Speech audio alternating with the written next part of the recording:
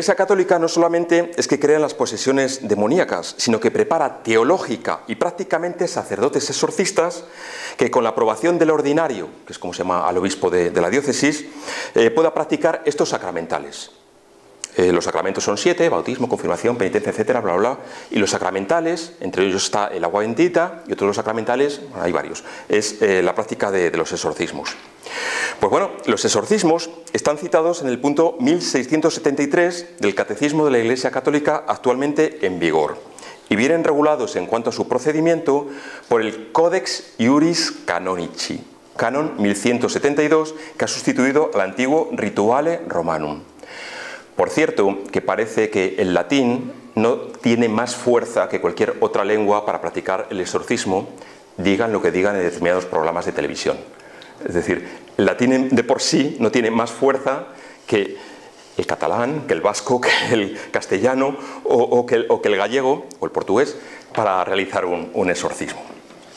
No lo digo yo, esto lo he leído de la tesis de un, de un sacerdote llamado Jeffrey Grove, de la Archidiócesis de Chicago, que realizó una tesis doctoral en la revisión de, sobre la revisión del ritual del exorcismo.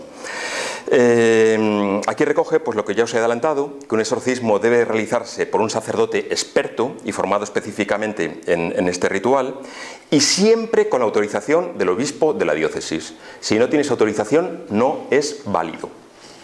Yo os cuento lo que hay, yo no estoy opinando nada, os cuento la realidad. El sacerdote experto debe realizar una evaluación continua, es decir, el exorcista lo que hace es continuamente valorar si realmente hay ahí una posesión. Por eso, en primer lugar, hace falta que exista mm, un, documento firmado por un psiquiatra donde diga que lo que le está pasando a esa persona va más allá de lo que entiende la ciencia médica. Eso es eh, fundamental. sin, este documento médico no se puede proceder eh, con, las siguientes, etapas. Esto lo dice el padre Grob que he citado. Lo primero es la evaluación a la persona física y psicológicamente. Y, luego sí que habla que hay casos, que son los más difíciles, donde puede mezclarse un problema de salud mental con una aflicción demoníaca. Con lo cual mm, recoge que sí es posible que existan ese tipo de, posesiones. Em, habla además que la evaluación para que este exorcista tenga constancia de que, pueda haber una certeza moral, porque él habla de que no, nunca va a haber una certeza absoluta, nunca va a existir el 100% de seguridad de que hay, hay una posesión. Lo que sí necesita es algo más de una probabilidad, que es lo que se llama certeza moral.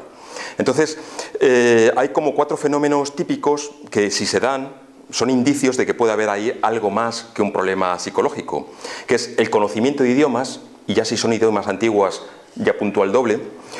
Segundo, conocimiento de cosas ocultas, algo que el paciente no tenga por qué saber y sin embargo lo manifiesta. Una fuerza extraordinaria y por último, aversión a lo sagrado. Vamos a ver más adelante que estos cuatro puntos mm, tienen explicaciones desde el punto de vista del espiritismo, con lo cual yo lo pondría muy, muy en tela de juicio. Pero son los cuatro indicios que recoge el Codex Iuris Canonici eh, sobre eh, cuestiones que puede haber ahí que se salen de lo normal y podría haber una posesión.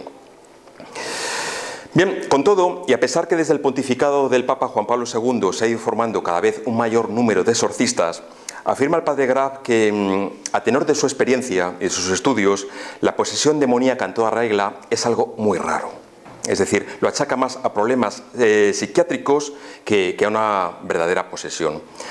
Y además con, sencillez pues, pues lo dice. Es decir, de, los casos que me he encontrado, muy poquitos eh, se pueden achacar realmente a que haya una posesión.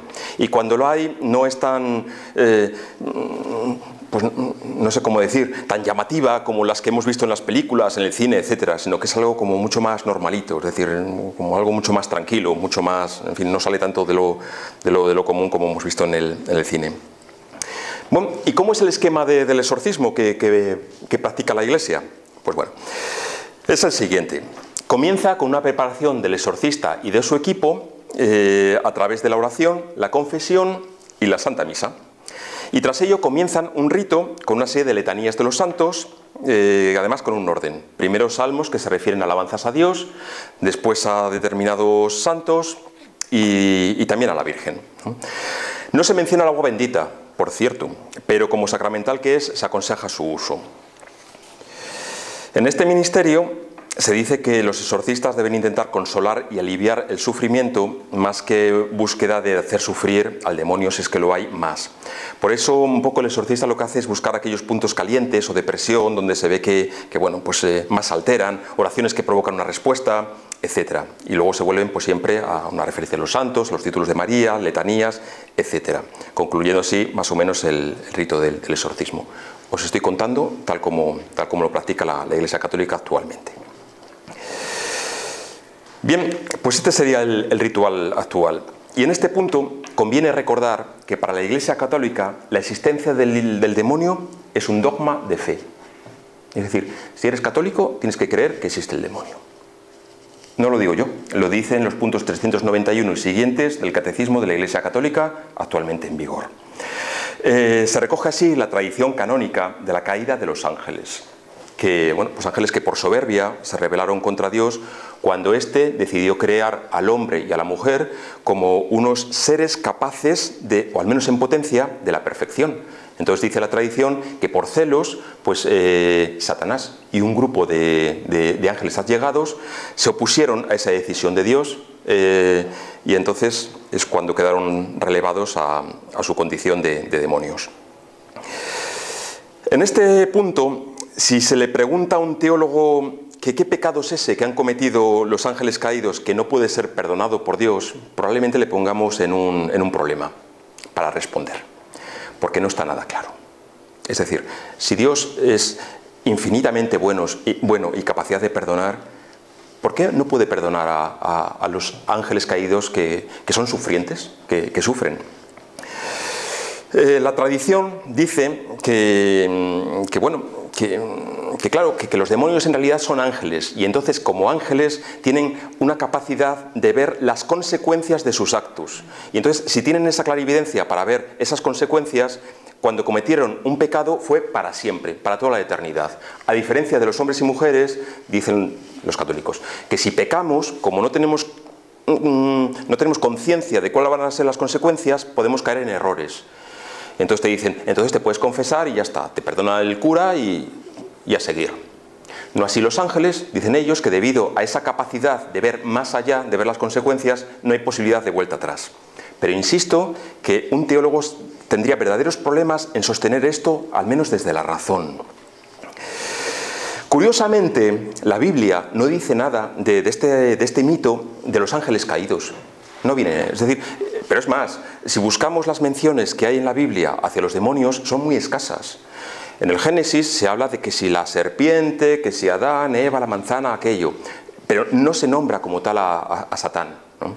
Eh, por supuesto no se le habla, no se le nombra mm, en la historia de los patriarcas, en la historia de Abraham, ni de Israel, ni de Jacob, eh, ni de Moisés, no, no se le cita siquiera.